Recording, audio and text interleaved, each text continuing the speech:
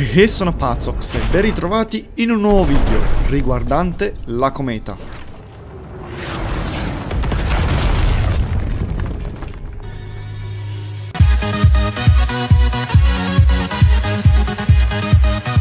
Come tutti ben sappiamo, in questi pochissimi giorni è apparsa questa immagine nel Twitter ufficiale di Fortnite. Ma non solo, questa immagine appare anche in modo dinamico nelle televisioni di Fortnite Battle Royale, praticamente dappertutto, con uno strano suono.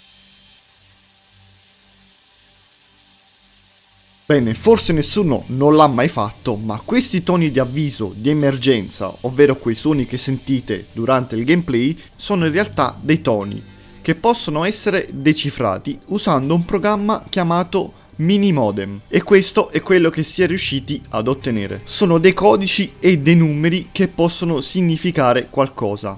Come prima cosa è un sistema di messaggio di allerta. Nel secondo codice i civili sono autorizzati a eseguire questi specie di ordini, che in questo mese ci sono dei numeri, questo non l'ho ben capito, della durata di un'ora. E la data del tempo e c'è scritto Julian Day, non so cosa significa, 164 giugno 13. Penso sia la fine del pass numero 4 perché alla fine dura di solito tre mesi, quindi inizio maggio, fine giugno. È un avviso di allarme, di allerta che qualcosa di pericoloso ovviamente sta arrivando, ma che dura fino al 13 di giugno. Quindi con questi codici sono fuoriuscite delle nuove teorie. Essendo che sia a tema supereroi, la mia teoria è questa. Magari Pinnacoli sarà salva. Si distruggerà un pochino per l'atmosfera, qualche caduta di un palazzo, un edificio abbastanza distrutto. Proprio nel momento in cui la cometa sta per cadere su pinnacoli pendenti, improvvisamente arriva questo fantomatico supereroe della copertina del Season Pass 4 sì vabbè si chiama Battle Pass numero 4, la ferma con un pugno e questa cometa ad esempio cadere su un magazzino muffito e distruggere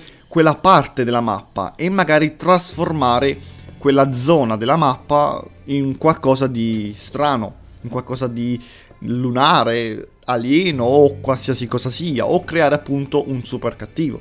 E potrebbe essere una teoria abbastanza funzionante, così non solo Pinnacoli verrebbe modificata, ma anche una grande parte della mappa intera di Fortnite. Ma non solo, mi fa anche molto ma molto strano che quando cade un pezzo di meteorite, rilascia un pezzo di metallo.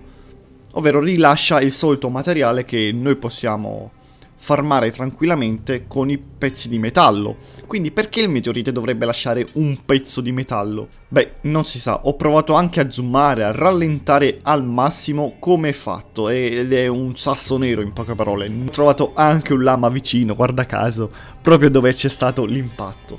E al momento questo è tutto, questi sono tutti i dettagli che ho potuto trovare, mi sono informato tantissimo, ma ovviamente non ci resta che aspettare il 30 aprile barra primo maggio, dove avverrà sicuramente l'impatto. Quindi ragazzi, se anche voi avete delle teorie, siete liberi di scriverlo qua sotto nei commenti. Noi come sempre ci vediamo con docissimo e carnissimo